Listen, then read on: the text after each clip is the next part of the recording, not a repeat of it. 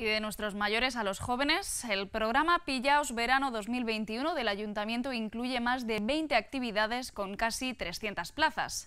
Otra edición más, el objetivo es ofrecer alternativas de ocio saludable para los jóvenes de Albacete durante las vacaciones de verano. Modalidad presencial y online, las actividades tienen un coste que oscila entre los 8 y los 20 euros, siendo requisito para participar en todas ellas estar en posesión del carné joven.